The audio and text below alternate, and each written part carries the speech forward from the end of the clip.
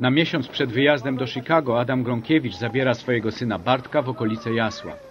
U zaprzyjaźnionego gospodarza wypożyczają konie do zimowej przejażdżki. Jeden z koni jest narowisty i nawet właścicielowi sprawia spory kłopot. Przyjeżdżamy tu z synem czasem pojeździć konno. Lubię wszystkiego spróbować, a nie, nie, żeby to było taką moją pasją, to nie. Konie raczej, no, lubię konie, ale nie jest to jakaś moja pasja. Czuję się tak swobodnie, wolno. Wszystko się zostawia za sobą. Nie no, nie wiem jak się czuje kowboj, ale, ale to coś, coś takiego, ta, ta, taka wolność.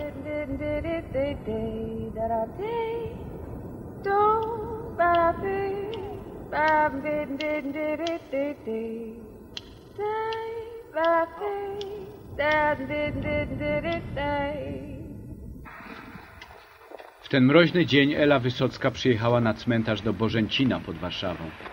To kolejne pożegnanie przed wyjazdem za miesiąc do Ameryki.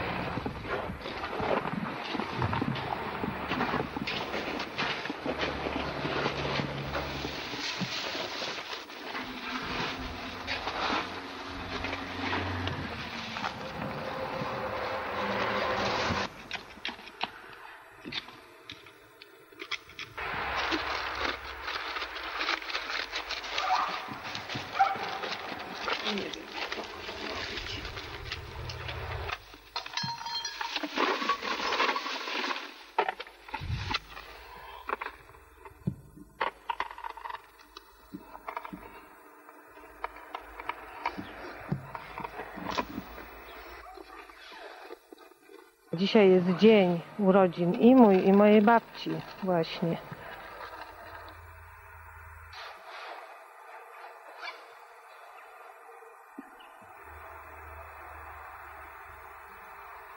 Byłam bardzo z nią zżyta, bardzo, się, bardzo ją kochałam i brakuje mi jej do dzisiejszego dnia. Są momenty, kiedy mam żal do całego świata, że jej nie ma. Że może gdyby ona żyła, to inaczej by się moje losy potoczyły. Nie wiem.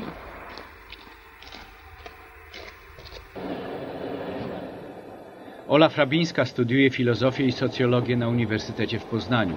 Kilka miesięcy temu wylosowała szczęśliwie promesę zielonej karty. Teraz jedzie do Warszawy na umówione następnego dnia spotkanie z konsulem Stanów Zjednoczonych. Wynik spotkania zadecyduje o tym, czy Ola otrzyma zieloną kartę.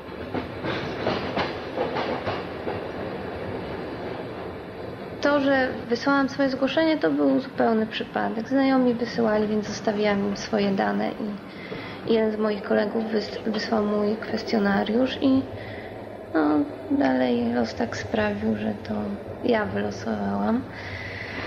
E, A skoro los daje taką szansę, to trzeba ją jakoś wykorzystać, więc nie chciałam tego przegapić.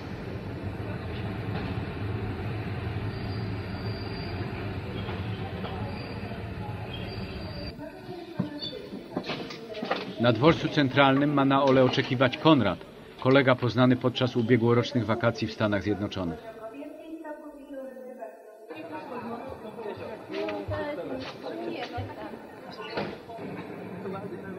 Oboje pracowali w Chicago w kawiarni w ramach międzynarodowego programu dla studentów. Zarobione w ten sposób pieniądze wydali potem na podróż po Stanach Zjednoczonych.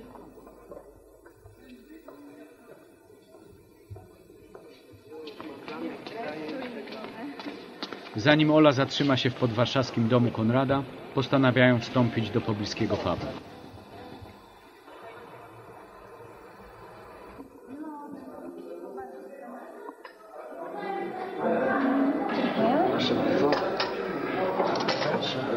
Jak rodzice? Tak średnio. Są za tym wyjazdem pod warunkiem, że ja tam podejmę jakąś naukę, że pójdę do jakiejś szkoły. Aha, że. A nie, że będę, wiesz, gdzieś tam kelnerować przez trzy lata, nie? Na tej zasadzie.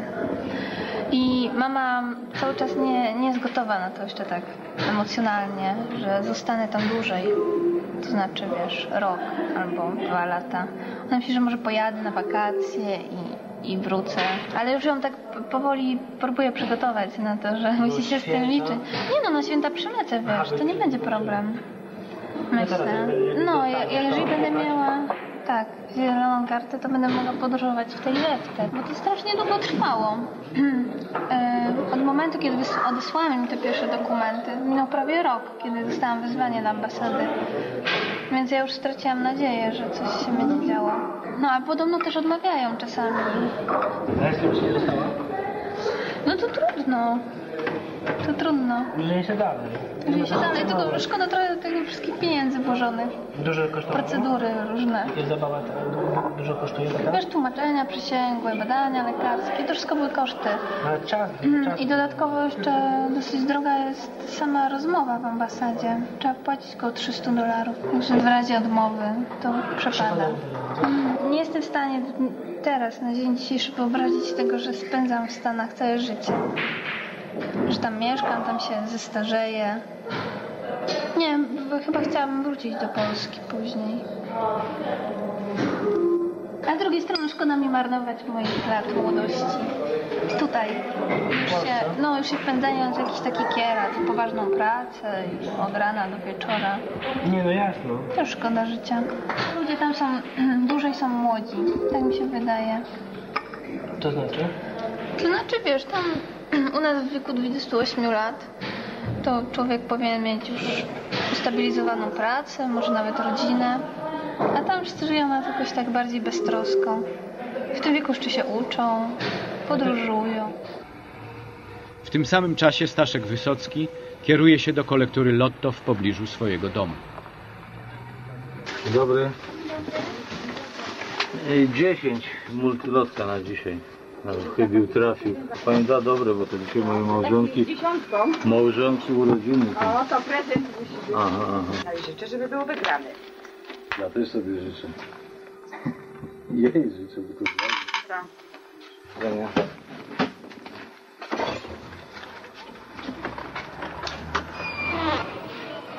Po najważniejszy prezent dla Eli, Staszek udaje się do jubilera.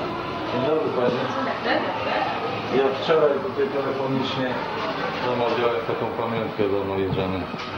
Tak? Miało to być proszę. Proszę, proszę sobie obejrzeć. Maleństwo takie. Mm. Dziękujemy. Zaproszony. Dziękuję bardzo, do widzenia. Do widzenia.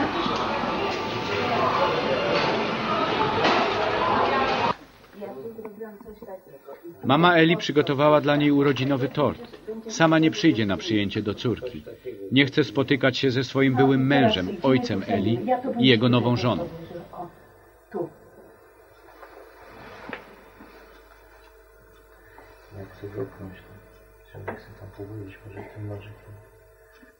Czekaj, widać to, ty zobacz, Stanisław, zobacz, bo ja teraz źle widzę przez, y, wiesz, po tej operacji. Dobrze, dobrze, ja może to poprawię.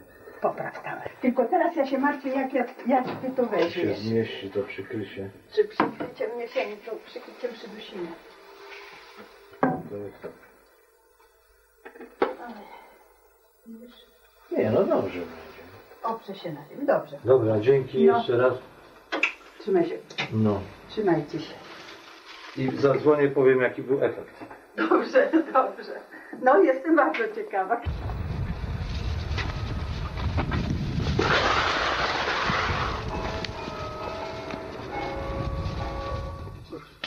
Ola i Konrad przyjechali do Rembertowa. W domu Konrada Ola zatrzyma się na noc. I tutaj jest twój pokoik. Tu będziesz spała. Kolekcja kubeczków. Czegoś napijesz? No chyba. Herbatki? To zaraz skoczymy. Na górę. Ten mam też jest. Dlaczego masz ptaszki? W tym roku, wiesz dopiero, dwa zabelki i nimfa. Ojej, ona siedzi na zewnątrz. No. A można ją pokoskać? Słucham? Nie ma problemu, powiedz. Ciasto? Ma imię jakieś? Dupek. Tak. A i tak ma pogadać zawsze? Mhm. Nie, nie, no teraz jest, wiesz co, zaraz ci pokażę. Chodź dupek. No patrz. Lubek. O! Nie bój się, nie bój się, nic się nie stanie. Dupek jest dobrym fabuszą. Ale chciałabym pojechać do Nowego Jorku teraz zobaczyć. Zobaczcie jak wygląda. No. Mam zdjęcie na tyle World Trade Center, kiedy jeszcze stało. Aha, wtedy, co Pamiętasz? zrobiliśmy dwa lata temu. Z New Jersey, ten widok na Manhattan. To teraz czekaj, zaraz ci pokażę. Ja cały album mam A jeszcze. masz z tego roku też? Y, Z tego roku jeszcze nie zdążyłem, wiesz, wywołać. No, nie, nie, nie za bardzo miałem czas. Spieszyłem się. Tutaj mam, oj, to z tej strony, zaraz ci pokażę. Dwie wieże. Robi wrażenie. No, to już jest historyczne A zdjęcie. Tutaj jest kosmiczne zdjęcie. No, to też jest niezłe. A ty mógłbyś mieszkać w Stanach? Tak na stałe? Jak myślisz? Mm, nie wiem, na razie nie, nie myślę o tym, nie chciałbym, wiesz? Za dużo mnie tutaj trzyma znajomi, rodzina. Mhm. Ja bym chciał tak, wiesz, wyjeżdżać sobie na 3-4 miesiące w wakacje, popracować, trochę pobawić się, poznać nowych ludzi i wrócić tutaj jednak. A Jak ty byś zieloną kartę? To co? To co, cieszyłbyś się? Większe szanse tam na pewno są. Znalezienie pracy i wiesz, godne, jakieś godniejsze życie. Nie boisz się tego? Rozczarowania? Rozczarowania? Mhm. Nie, ja mam bardzo duży dystans do tego. I ja wiem, że może się ułożyć dobrze i równie dobrze mogę ponieść jakąś porażkę i będę musiała tu wrócić. Nie będę się odcinać od korzeni i może to mi pomoże jakoś zachowaniu tożsamości. Nie chciałabym się tak pogubić, e, że w pewnym momencie nie będę wiedziała, kim jestem.